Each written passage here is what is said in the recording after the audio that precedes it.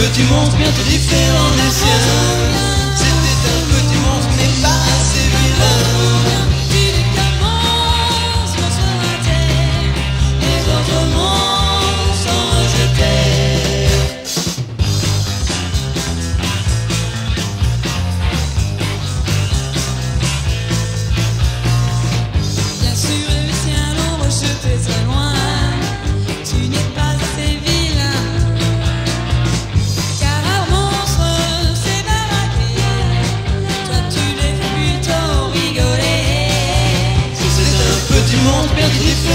Différent